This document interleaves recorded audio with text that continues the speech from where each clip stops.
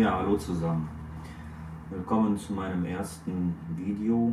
Ähm, Kawasaki ZX7R, mein neues Projekt. Und zwar, wie schon bereits bei Facebook angekündigt, werde ich jetzt versuchen, den, den Wiederaufbau bzw. die ja, Wiederinbetriebnahme des Mopeds hier äh, in Videoform festzuhalten. Ich hatte das ja damals bei meinem alten Scrambler vor.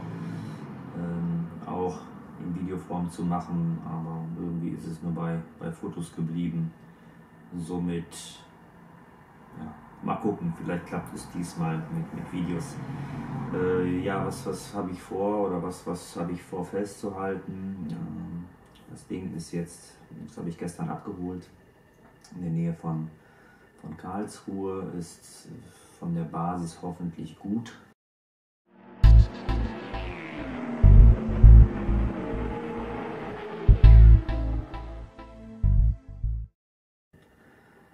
Baujahr 98 bzw. Erstzulassung 98.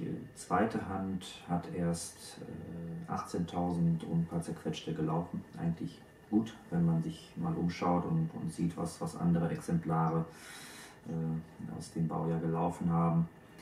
Äh, da ist man eher so bei 50, 60.000 ja, Kilometern. Also 18.000 super.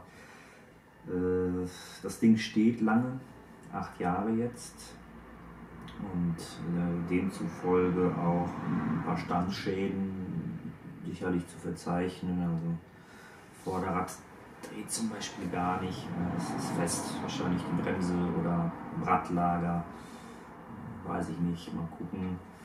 Ansonsten, ja, dreckig, eingesaut, eingestaubt, äh, steht aber so noch, noch ganz okay da. Das heißt, Basis sollte gut sein. Wir werden sicherlich sehen, wenn, wenn gleich mal die Verkleidung runterkommt und dass man einmal unten drunter schaut, was uns da erwartet. Aber prinzipiell hoffe ich, dass das Basis gut ist. Bis auf den Auspuff äh, ist auch eigentlich alles unverbastelt. Das war mir ganz wichtig, dass ich eine solide Basis habe, also nicht irgendwie so eine Bastelbude, sondern originaler Lack musste sein ähm, nach Möglichkeit sturzfrei, unfallfrei. Ich habe gestern gesehen, als ich die abgeholt habe, dass hier so ein paar kleine Lackstiftreparaturen sind, aber das ist jetzt nichts gravierendes. Ja, original sollte sie sein, originaler Lack sollte drauf sein, originaler Dekorsatz und ja, sonst auch, also hier so Originalblinker ist, ist eigentlich auch okay, also für, für, als Basis, als Ausgangssituation.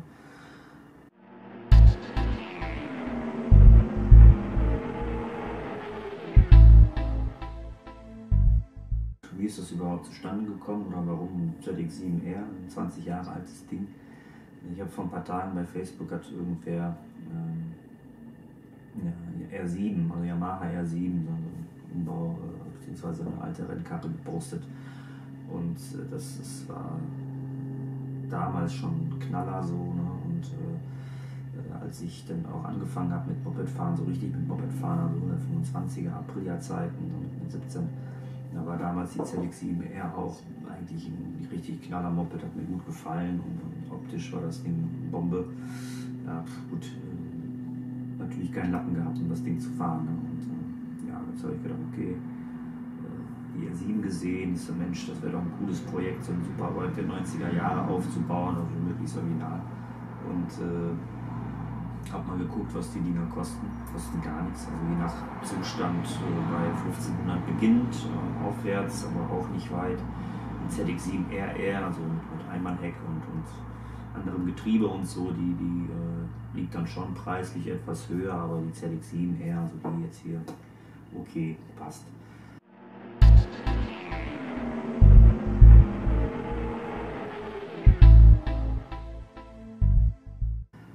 Jo, was, was planen wir oder was, was plane ich überhaupt ähm, zu machen? Also klar, generell eine große Inspektion bedeutet alle Flüssigkeiten neu, Filter neu, ähm, Öl, Luftfilter, äh, Bremsen komplett neu bedeutet äh, die Bremszangen einmal revidieren, dann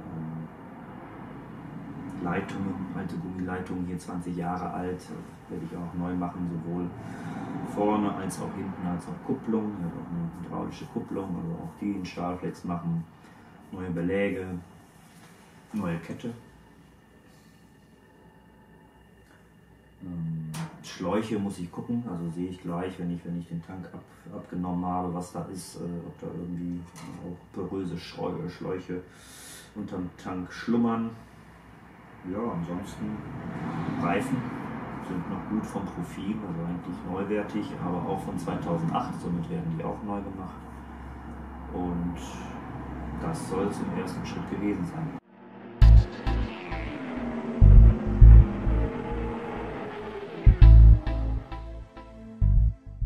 So Leute, wie ihr sehen könnt, ähm, ist einiges passiert.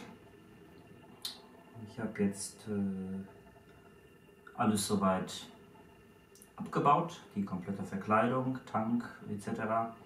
Und jetzt ja, machen wir nochmal einen Rundgang, dass ihr mal sehen könnt, wie super das Ding eigentlich aussieht. Äh, ja, unten drunter wirklich sehr gut. Eigentlich nichts, was mir Sorgen bereitet. Die Bremszangen sind jetzt auch tatsächlich äh, die Ursache gewesen, dass das Rad sich nicht drehen ließ. Das heißt, die Kolben sind wohl fest, aber da ich die eh revidieren möchte, ist es kein Thema.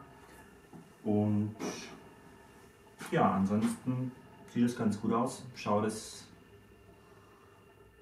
euch selbst an.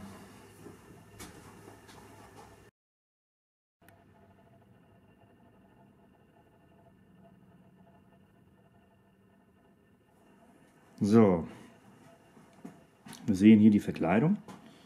Äh, alles ist soweit ab. Fender, ähm, Ram Air, das heißt hier die ähm, Kanäle, Seitenverkleidung und die Front. Ja, und das Moped sieht soweit ganz brauchbar aus. Sicherlich die, die Kette, ähm, wie schon besprochen, die wird wohl neu kommen auch wenn die eigentlich nur dreckig ist, aber ja, Motor wirklich äh, gut, also optisch. Kühler sieht echt fast neuwertig aus, hammermäßig. Ähm, das sind wahrscheinlich die Übeltäter, die Bremszangen, dass die Kolben fest sind und das Rad sich nicht drehen ließ. Aber hier nochmal der Kühler, wirklich tippitoppi nichts dran. Gabel sieht gut aus, trocken, schön. Ähm ja, hier schaut euch mal die Bremsflüssigkeit an. Hammermäßig, ey. So noch nicht gesehen. Wahnsinn. Vergaser, Schläuche, alles äh, echt in Ordnung. Also macht wirklich einen, einen sehr guten, sehr guten Eindruck. Hier, alles dicht. Schaut euch mal den Motor an. Wirklich sehr, sehr frisch alles noch.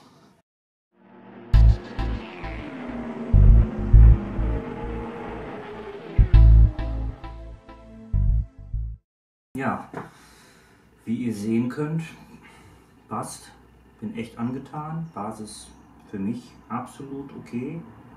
Man, ich meine, das Ding ist 20 Jahre alt, das, darf man nicht vergessen. Dafür steht die echt gut da und bis auf die ja vorhin angesprochenen Mängel, die mir jetzt aufgefallen sind, super. Das heißt, gleich die Einkaufsliste schreiben und äh, dann kann es weitergehen. Super. Bis bald.